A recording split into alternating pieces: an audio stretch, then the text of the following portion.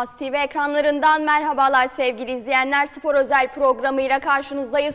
Spora dair özel konu ve konukları ekranlarınıza taşımaya devam ediyoruz. Bu haftaki konuklarımız 16 yaş elit liginde 125 golle 18'de 18 yaparak şampiyon olan Fethiye İdman Yurdu olacak. Başkan Şenol Tosun, futbol şube sorumlusu Özgür Zeybek, takım kaptanları Emrah Muhammed ve Yağız Efe Zeybek'le birlikte şampiyonluğun öyküsünü konuşacağız. Öncelikle programımıza hoş geldiniz. Kupa ile birlikte sizleri burada ağırlıyoruz.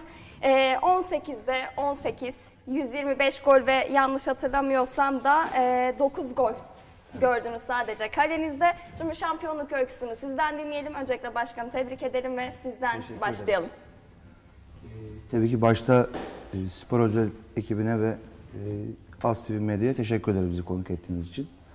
E, şampiyonluk öyküsü yeni gelmiyor. Geçen sene kurulan bir ekip. Özgür Zeybek'in önderliğinde e, güzel bir ekip kuruldu. Allah nasip ediyor. Çalışıyoruz. E, iyi bir ekibe sahibiz. Çocuklar haftanın 5 günü antrenman yapıyor. Yani amatör takımlarda olmayan bir durum bu. Yani diğer takımlar normalde 2 gün veya 3 gün antrenman yaparlar. Bizde 5 gün devam ediyor. E, hafta sonunda müsabakalara çıkıyorlar. E, bununla beraber başarı çalışmayla beraber geldi. İyi bir performans vardı. Evet 125 tane gol attık. 9 tane gol yedik. E, çocukları tebrik ediyoruz. İnşallah hedefimiz Türkiye Şampiyonası'nda Bursa'yı en iyi şekilde temsil etmek. Başarılar diliyoruz o zaman. Teşekkür ederiz. Sizle devam edelim. Ee, çalışmalardan başkanımız da bahsetti. Ee, yoğun bir çalışmanın karşılığında elde edilen bir şampiyonluk var. Neler söyleyeceksiniz? Şimdi öncelikle ben de çok teşekkür ediyorum bize bu fırsatı verdiğiniz için. Ee, çocuklarımızı tanıtma fırsatı verdiğiniz için. Öncelikle e, Bursa'da akademi liglerine yakın derecede antrenman performansı sergileyen e, bir iki kulüpten bir tanesiyiz. Başarının ana anahtarı buradan geliyor zaten. Yani normal şartlarda e, hocalarım çok özverili çalışıyorlar. İyi bir ekibe sahibiz. Dediği gibi başkanımın haftanın 5 günü antrenman yapıyoruz. E bu da tabii ki başarıya yansıyor. Ee, yani günde 2 saate yakın idman yapıyorlar çocuklar. Ee, iyi performans sergiliyorlar. Dediğim gibi 3 3 yıldan beri aynı takımla çalışmanın bir avantajı var. Oradan gelen e, eksik yerlerimize takviyelerle bu sene de tekrar şampiyon oldular. Bizi sevindirdiler, gururlandırdılar. Böyle de devam edecek diye düşünüyorum. Ee, iyi gidiyor. Böyle bir gidiyor. performans bekliyor muydunuz peki çocuklardan 125 gol atıldı, kalede 9 gol görüldü. 18'de 18 yapıldı, hiç mağlubiyet yok. Böyle bir performansı bekliyor muydunuz? Şimdi geçen sene dediğim gibi bu grup yine şampiyon olduğunda U15'te e, bu sene kurallar çekildiğinde yine bu hedefi biz koymuştuk zaten. 100 gollü şampiyonluk demiştik. Başkanımıza da bu konuyla alakalı söz vermiştik biz ekip olarak. Hocalarımız, e, oyuncularımız, kaptanlarımız hepsi bir söz vermişlerdi zaten. Biz 100 golle şampiyon olacağız diye.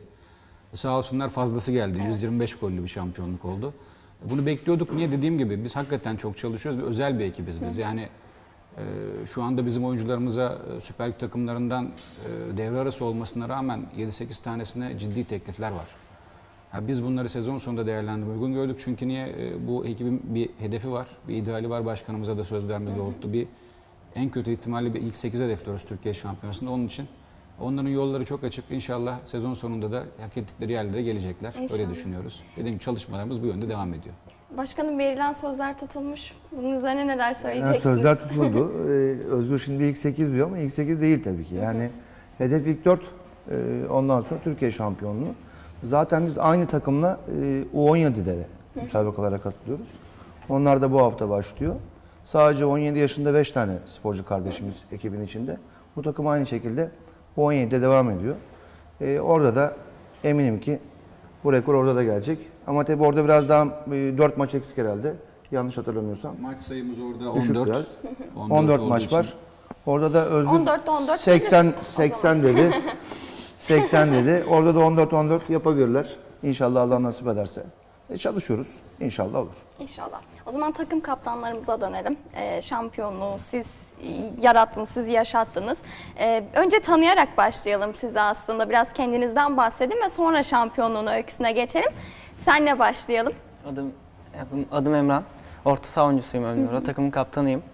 Sezon başında bir söz vermiştik. Demiştik şampiyon olacağız, hiç maç yenilmeyeceğiz. Disiplinli ve doğru çalışarak e, bunu başardık. takımım adına çok mutluyum. Arkadaşlarımı tebrik ediyorum. Sen neler söyleyeceksin? Ee, Yağız Efe Zeybek, e, takımın sol bek oyuncusuyum. E, ikinci kaptanım. E, sene başında hocamıza ve başkanımıza bir söz verdik. Aynı şekilde sözü tuttuk. İnşallah şimdiki hedefimiz de Türkiye şampiyonluğu. E, aynı şekilde devam edeceğiz. İlk dört değil direkt biz kupayla gelmek istiyoruz. Takımca bir söz verdik. İnşallah sözümüzü O tutacağız. zaman ben de bir söz alıyorum. Tekrar bir kupayla bekliyoruz o zaman sizlere programımıza. Aynı zamanda sen 100. golü de attın. Şimdi bize o golü biraz anlatabilir misin? Ya aslında benim hani öyle bir şeyim yoktu. Bilmiyordum hani 100. gol olduğunda. Golü attıktan sonra dışarıdan bir şey dediler hani 100. gol diye. Ee, korneri kullandım. Biraz da şey hani rüzgarın şeyiyle top döndü kornerden direkt kaleye gol oldu. Sonrasında söylediler 100. gol diye. Öyle bir şey oldu yani. Kaç gol attın toplamda? 10. 10 gol. Senin kaç golün, golün var? 4 golüm var. Dört golün var. Ama takım kaptanlığı da tabii ayrı bir sorumluluk. Ee, siz takım arkadaşlarınızı nasıl motive ediyorsunuz? Biraz da bu takım içindeki arkadaşlıktan, o uyumdan e, bahsedebilir misiniz bizlere? Tabii doğru bir şey aslında. Takım birlikte olmadan yani birlikte bir şey yap- yapamasaydık şampiyon olamazdık. Herkes uyum içinde olmalı ki takımda mutlu bir şekilde idman yapalım. Ma- maç çıkartalım. Ee, takım çok nasıl desem yani e, birlikteliği çok iyi. O yüzden bu şampiyonluğu 100 125 golle kutladık yani. Ee, tıp- takım kaptanı olarak e, maçtan önce arkadaşlarınızla soyunma odasında e, birbirinizi nasıl motive ediyordunuz peki? Yani her maça galibiyet parolasıyla çıktınız Tabii. ve zaten yenilmeden de tamamladınız. Tabii ki. Se- e, soyunma odasında herkes birbiriyle çok e, içten ve doğru şekilde konuşuyor. Herkes birbirini seviyor ve saygıyla konuşuyoruz. Yani birlikteyiz. E, bir söz veriyoruz çıkmadan önce. Bu maçı kazanacağız diye ve sözümüzü tutup geliyoruz. Hocamızı da mahcup etmemiş oluruz. Sen nasıl motive ediyorsun arkadaşlarını? Ya hocamızın hep dediği gibi aslında takımda hani herkes kaptan. Herkes birbiriyle iyi konuşuyor. e, motive edici konuşuyor. E, olumsuz konuşmadığımız için de başarı geliyor zaten. Evet. Ee, size dönmek istiyorum tekrar. Ee, nasıl değerlendiriyorsunuz çocukları? 3 yıldır birliktesiniz. Evet. 3 yılda nasıl bir gelişim e, kaydettiler? Neler oldu 3 yılda? Evet, gelişimleri çok olumlu yönde devam ediyor. Ee, Bu yönde çalışıyoruz zaten. Dediğim gibi proje takımı diyebilirim ben aslında. Çocuklarımızın e, altyapıları da iyi yerlerde yetiştikleri için de güzel şeyler oluyor. Ee, yani ama hepsi yine söylüyorum hepsi hepsi hepsi dayandığı temel nokta disiplinli çalışmaları. Arkadaşlıktan bahsettiler. Arkadaşlık hakikaten üst düzeyde takımda. Şimdi ben burada hepsini birden sayamayacağım ama ligin gol kralı da e, bildiğiniz gibi bizden çıktı. Ona da ödülümüzü verdik gecemizde. Ee, yani takımdaşlık ruhu çok önemli. Artı hoca kadromuz da çok iyi. Özel seçtiğimiz bir hoca kadromuz var. Şimdi burada e, isimlerini saymamda bir sakınca yok herhalde. Tabii sayabilirsiniz. Met- Metin Yıldırım takımımızın hocası. E, Sedat Bayraktar eski Bursa Sporlu hocamız. Abimiz aynı zamanda. E, Bilal Doğan A takım hocamız. Ertan Mandaloğlu. Bunların hepsi bir ekip. Artı bizde hani e, şu hoca şu takım diye bir şey yok. O da bir ruh sayılır.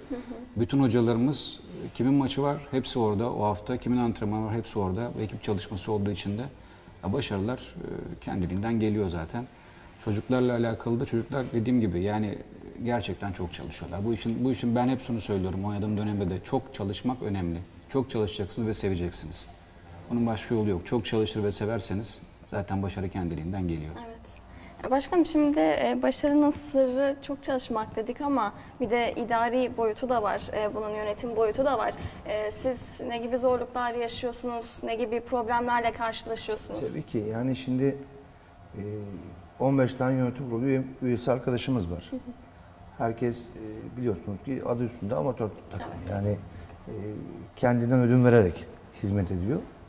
E, tabii ki ufak tefek gelirlerimiz var ama sağ sıkıntımız her zaman gibi devam ediyor. Yani Büyükşehir Belediyesi sağ yaptı Fethiye'ye. E, o günün büro- bürokratları e, baştan sahanın bize yapıldığını söylendi ama ondan sonra biz sahayı kısıtlı saatlerde kullanıyoruz. E, 1976'da federi olmuş e, ve tesis yapılana kadar burasının Milli Emlak Müdürlüğü'nün yardımcısını bu kulübün yöneticileri, bu başkanları ödemişti. E, büyükler öyle uygun gördü ama e, bizim için sıkıntı. E, başarılı bir takımız. E, Bursa'da adından söz ettiren bir takımız. Ama e, sonuç itibariyle sağ sıkıntımız üst düzeyde. Dört takımla iki saat içinde aynı sahaya giriyoruz. E, yetkililerden e, bu konuya çözüm istiyoruz. İlk problem tesisleşme. Bu, tesis. Saha. Siz neler söyleyeceksiniz? Ya aslında Bursa'da en çok müsabaka oynatan ve en çok takıma sahip olan bir şehir ama e, biz daha önce e, Amatör Spor Kulüpleri Federasyonu Başkanı Osman Kılıç'la da bir e, program gerçekleştirmiştik. Buradan ona da e, selamlarımızı Selamlar yollayalım. Onun da e, ilk olarak değindiği konu tesisleşmeydi. Yani bu kadar çok kulübe sahip olan, bu kadar başarılar elde eden ve bu kadar çok müsabaka oynatan bir şehrin tesisleşmedeki sıkıntıları bir türlü önünü e, kesemiyoruz diyorlardı. Neler söyleyeceksiniz? Yani e, maalesef kesemiyoruz. e, olmuyor. Şimdi ben Fethiye İdman Yurdu Spor Kulübü olarak 8 branşta elit ligde mücadele ediyorum. Yani 8 tane elit takımda U13 liginden başlayıp 19'a A takımı da sayarsak 9 branşta mücadele ediyorum. Ama dediğim gibi bana verilen antrenman sahası saati akşamda her gün 1 saat, 1,5 saat. E, yeri geliyor 4 takımla aynı sahada antrenman yapmak zorunda kalıyorum. Ki buna rağmen ben bütün oynadığım gruplarda şu ana kadar Fethiye İdman olarak biz şampiyon olduk. Ee, biraz daha tabii bu bize imkanlar sağlandığında neler yapabileceğimizin de göstergesi bu bence.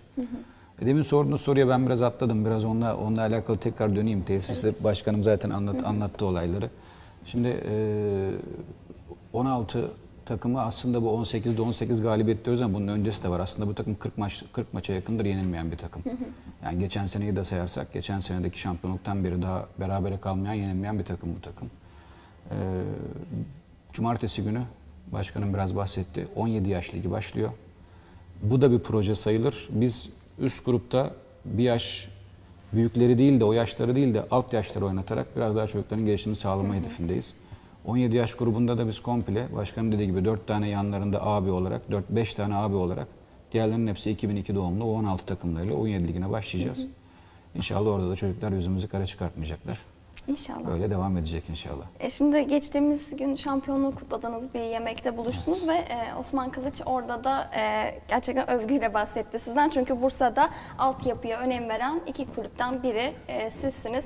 Altyapıdaki çalışmalarınızdan biraz daha bahsedecek olursak eğer e, ne gibi çalışmalarınız oluyor? Yazın yaklaşık e, işte 250 kişi civarı spor okulumuzda futbolcu eğitiyoruz. Kışın bu e, tabii ki hava muhalefeti ve eğitim e, şartlarından dolayı 150 civarına düşüyor. Onun harici e, Özgün Bey'in de bahsettiği gibi işte 8 branşta müsabakalara katılıyoruz ve her branşta da şampiyonluk kovalıyoruz. İşte U14'te şampiyon olduk, e, genç takımda şampiyon olduk, U16'da olduk, U15 ve U17'de de aynı şekilde iddialıyız. E, Biz altyapıya önem veriyoruz. İnşallah Allah gönlümüze göre verir. Çalışmamıza devam ederiz. Bursa futboluna, Türk futboluna e, iyi bireyler yetiştiririz. Şimdi Bursa'daki amatör e, sporu da değerlendirecek olursak eğer yani evet siz başarılı bir kulüpsünüz ama diğer e, kulüpleri de e, baz alırsak eğer başarı oranı nedir? Şimdi başarı oranı nedir? E, bunu şöyle kıyaslamak lazım. Yani biz daha önce U14'te Türkiye ikincisi olduk. Türkiye finallerinde. Araba yatağı e, 15'te miydi? 14, 14'te mi 15? 15 dedi galiba. Türkiye şampiyonluğu Bir tane Türkiye şampiyonluğu var. Ee, şu var aslında yani ne kadar çok testleşirsek ve antrenörlerimize ne kadar çok eğitim verirsek e, doğru yapılanmaya daha iyi başarılar gelir. Biz e, kategorilerimizin hepsinde çift hoca, hocayla çalışıyoruz. Yani Özgür de, Özgür de bahsetti olaydan. E, herkes olaya hakim. Bu da istemeden kendi kendine başarıyı getiriyor zaten. Antrenörlük yani çok önemli bir oyuncu yetiştirirken tabii ki onların Tabii. çalışması kadar bir antrenörün de onları e, doğru yönlendirmesi gerekiyor. Bursa'da peki antrenör yetiştirebiliyor muyuz? Yani bunu nasıl başarıyoruz? Ya antrenör yetiştiriyor muyuz? Yani antrenörlerin e, yüzde sekseni, Bursa'da antrenörlük yapanların e, okullarında beden eğitimi öğretmenleri. Yani geneli beden eğitimi öğretmeni. E, diğer zamanlarında da e, bu işi yapıyorlar. Ek iş olarak. E, burada ekibi iyi seçmek lazım. Tabii yani bu herkesin tercihidir. Biz e, Özgür Bey'e güvendik. Özgür Zeybek takımı teslim ettik yönetim kurulu olarak. Kendi ekibini kurdu. E, Özgür bize bağlı. Ee, Onlar da Özgür'e bağlı.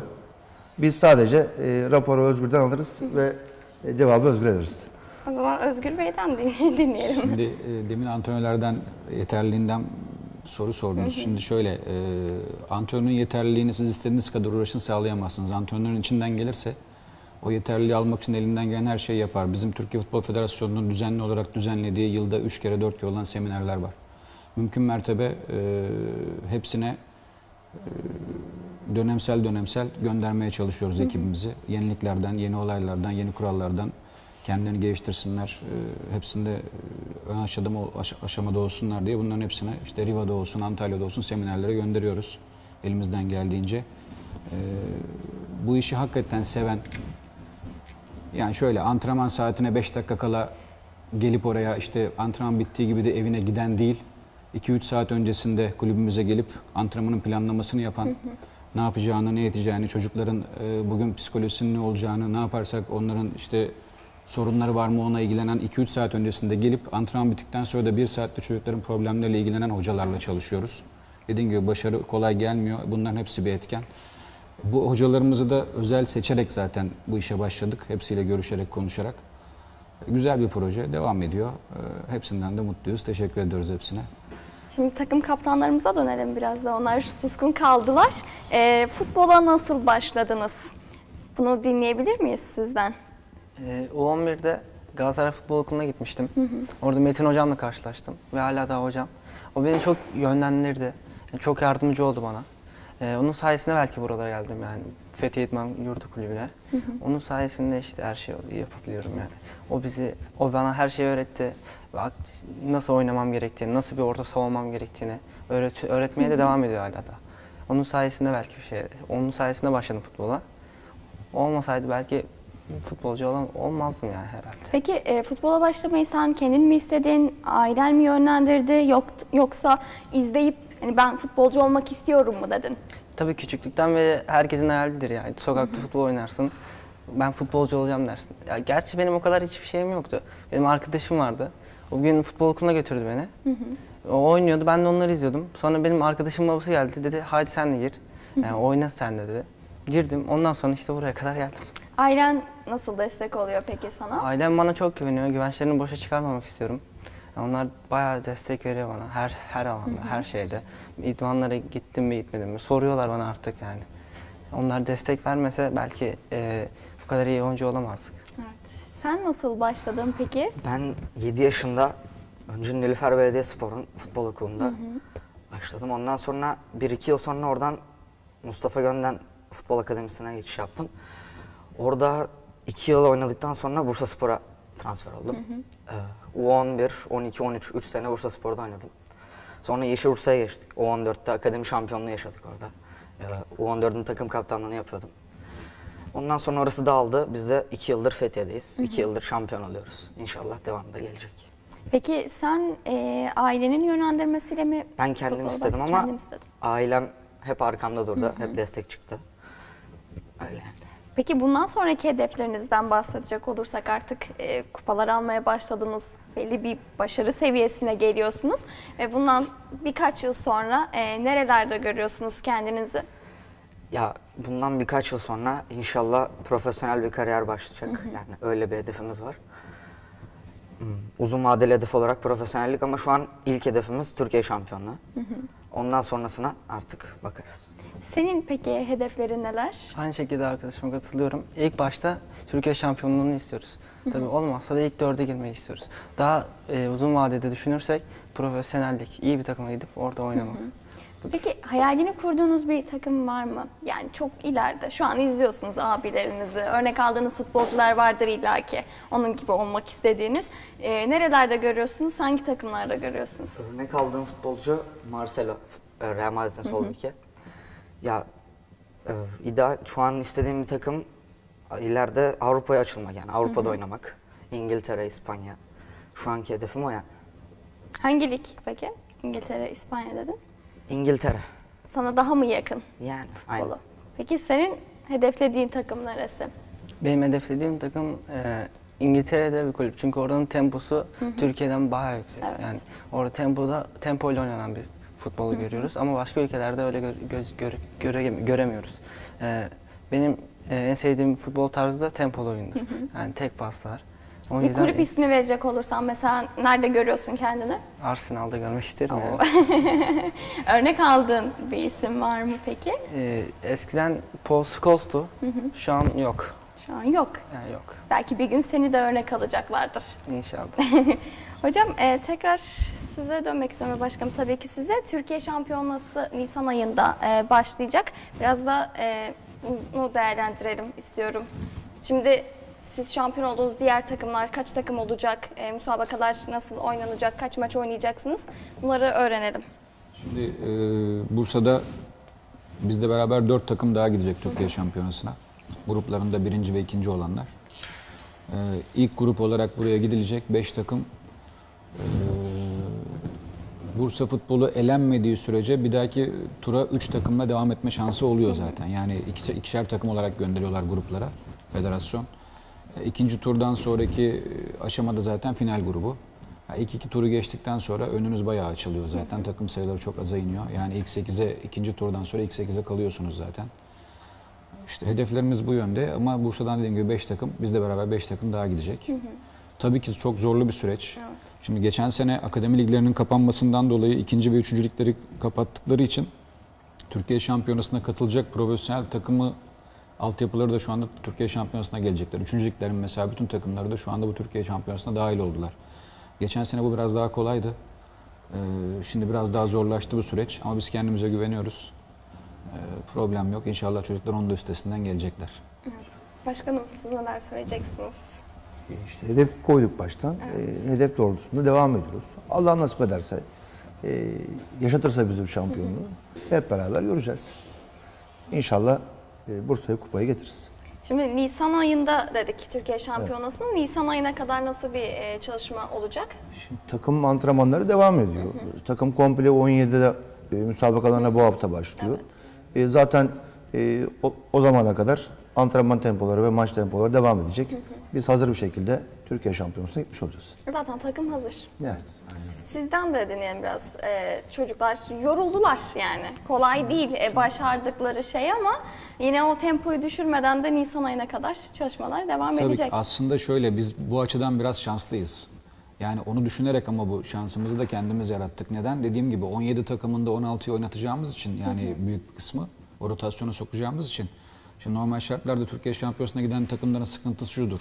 Sonuç bildirme e, lig bitti bu hafta. Sonuç bildirme bu, e, Ocak ayının Şubat ayının sonunda yapılır. Ama şampiyonlar Nisan'dadır, Mayıs'tadır. Aradaki 3 aylık süreçte çocuklar e, ister istemez deformasyona uğrarlar. Antrenman yapmadıkları için biraz ara verilir. O bir sıkıntı yaratır. İşte biz bunu olmasın diye biz 17'de bu takıma planlamasını yaptığımız için yani şöyle söyleyeyim e, 17'nin maçları devam ederken Türkiye Şampiyonası'na gidecek bu çocuklar 16 olarak. Orada federasyonumuz bize e, maç haftalarını sağ olsunlar şey yapıyorlar, tolerans gösteriyorlar. O hafta maçları erteleniyor. Türkiye Şampiyonası'na gidiyorlar, geliyorlar sonra tekrar oynuyorlar. Yani biz hazır göndereceğiz çocukları. O bakımdan biz biraz ama bu planlamayı yaptığımız için şanslıyız. Bu planlamayı daha önceden yaptık bunu düşünerek. Ya, inşallah iyi olacak. İnşallah. Şimdi takım kaptanlarımıza dönelim tekrar. Ee, Nisan ayına kadar hazırlıklarınızı sürdüreceksiniz.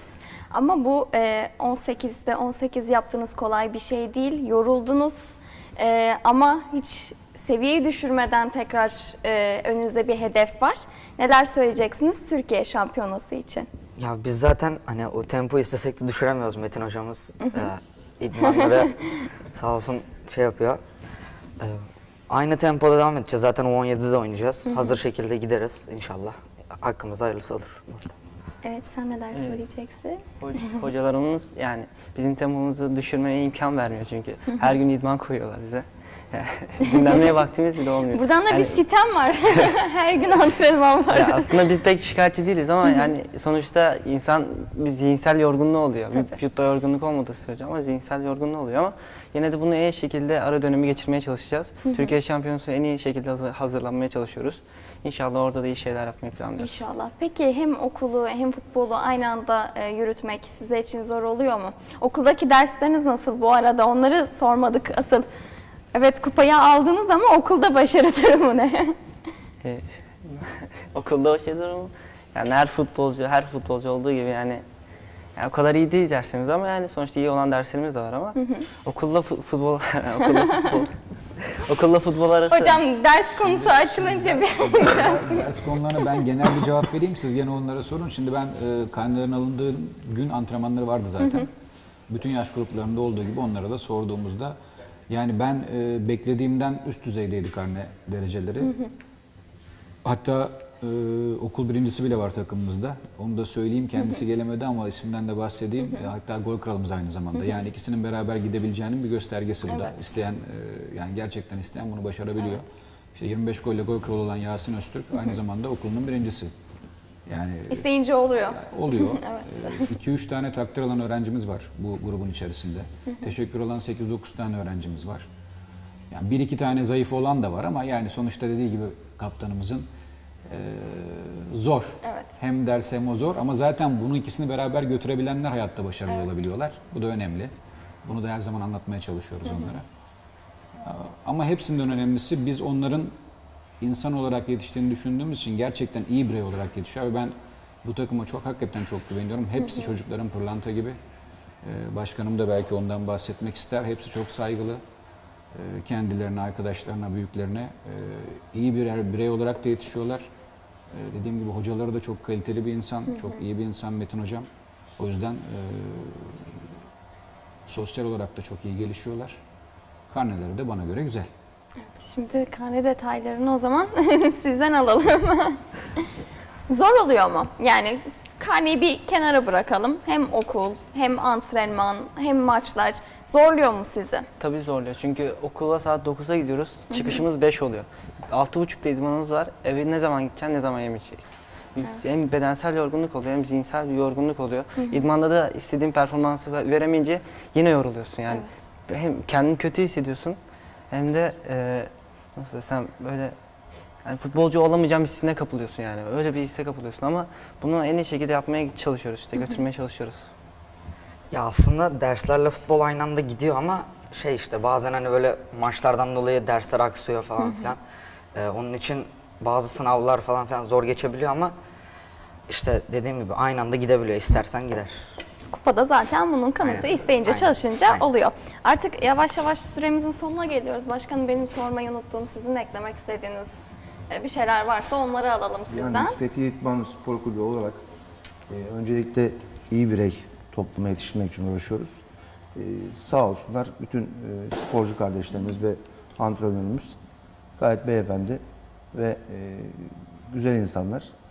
Zaten e, bizim mantalitelerimizde olmayan hiçbir sporcuyu ve e, antrenörü kulüp bünyemizde barındırmayız. E, çocuklarımıza da e, U17 müsabakalarında başarılar diliyorum takımımıza.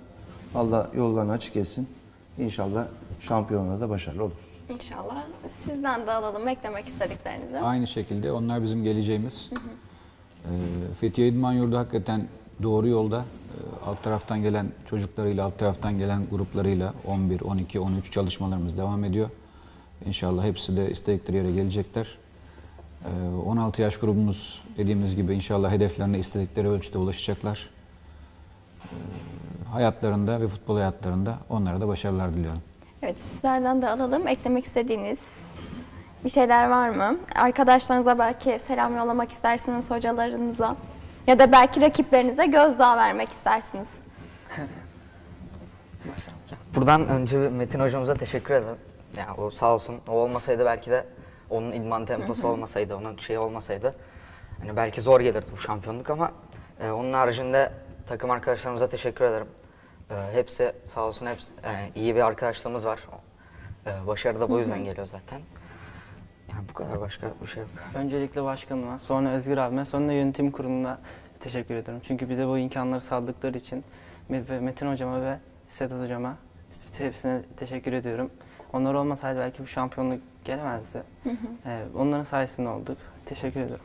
Biz de sizlere teşekkür ediyoruz. Programımıza konuk oldunuz. Hem U17 müsabakalarında hem de Türkiye Şampiyonası'nda başarılar diliyoruz. Programın başında sözünü aldım yine kupayla. Bekliyorum sizleri. Sizlere de çok teşekkür, ediyoruz. ederiz, teşekkür evet sevgili izleyenler Spor Özel programının bu haftalık sonuna geldik. Bir sonraki programda görüşünceye dek hoşçakalın.